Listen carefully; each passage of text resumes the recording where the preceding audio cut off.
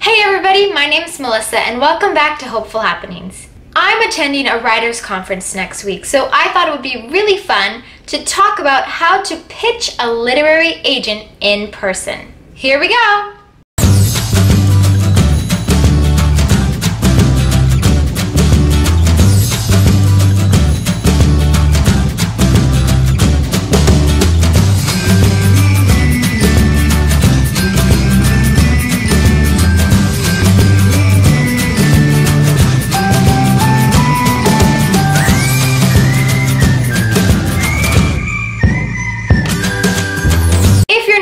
Familiar with a writers conference, a writers conference is a conference that is for writers to attend and then there'll be agents and editors who will be paneling there.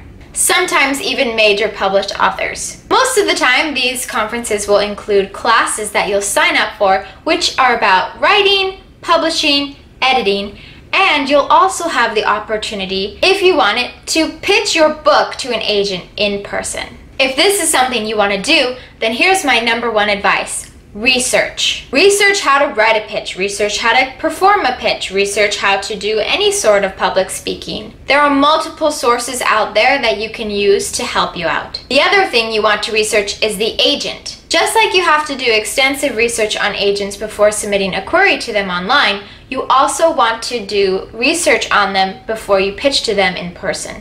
Know what kind of books they've represented, definitely know what kind of books they want to represent as this constantly changes. And if they've done blogs or if they're very open on Twitter, these are things that you can use to your advantage. It not only can help you in conversation, but I think the main goal of doing this research is so that you feel more comfortable knowing who you're pitching to. Because the more you know a person, the more you can gauge whether they are a good fit for your book. Number two, practice out loud. This should be a no-brainer. You're giving a pitch to people in person, not just people, agents, with the potential of one of these agents signing you on as a client if they love your pitch. Memorize your pitch. Practice in front of the mirror. Practice in front of someone else. You can even videotape yourself to see what you like and don't like about how you're presenting.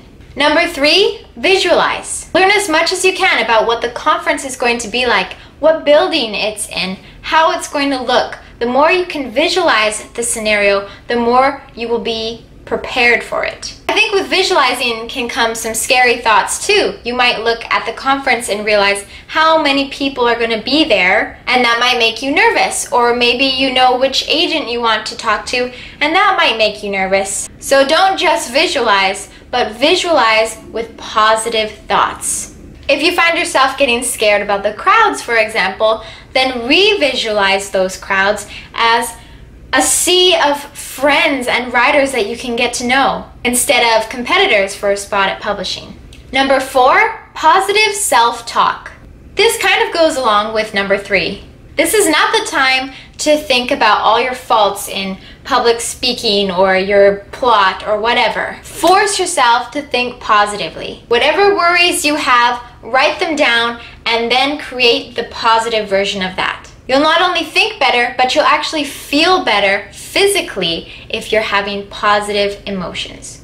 Number five, take care of your body. This means go to bed on time, eat a proper breakfast, also dress up. Wear comfortable, flattering clothes. Do your hair, do your makeup, whatever you feel good in, do that because when you feel good, it shines out. And when you look good, you feel good. So it's like a cycle.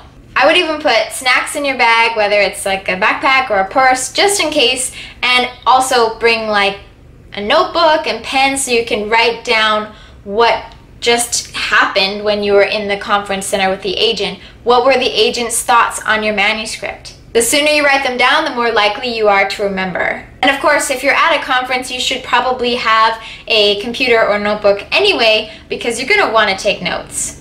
Number six, be early. If you're rushing down to your appointment to meet up with this agent, then all that's positive self-talk, all that preparation mentally and physically, it's going to go out the window.